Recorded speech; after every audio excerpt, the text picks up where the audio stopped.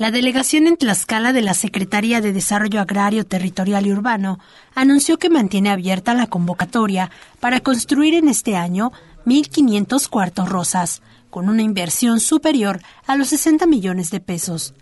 El delegado de Sedato en la entidad, Sergio Pintor, destacó que además de combatir el hacinamiento de las familias, garantiza los derechos y libertades de niñas, niños y jóvenes.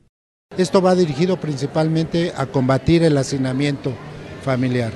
En el caso de FONAPO, va dirigido a atender familias con escasos recursos de ingresos.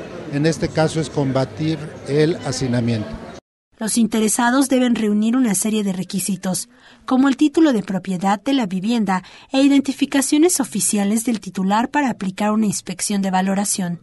Debe cumplirse, eh, además de los requisitos personales, pues del CURP, del IFE, de integración de una familia, se debe cumplir con que vivan eh, en promedio más de dos y media personas por eh, habitación, que el promedio de habitación eh, sea mayor a 2.5 personas.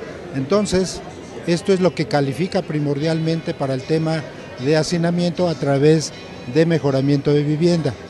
En el caso de FONAPO, va dirigido a combatir la pobreza extrema. Ahí no importa que sea un número importante de personas de la familia, ahí lo que importa es el ingreso. Debe estar por abajo de 2.5 eh, salarios mínimos para poder calificar. El cuarto rosa es espacio para niñas y señoritas que debe ser utilizado para dormir y así desarrollarse de una forma integral, respetando su privacidad y mejorando su condición de vida.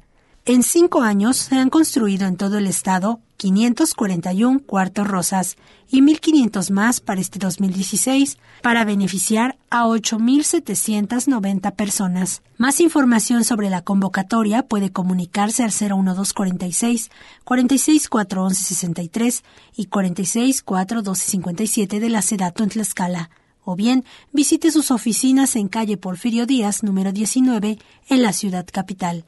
Con información de Adam Morales, Sistema de Noticias.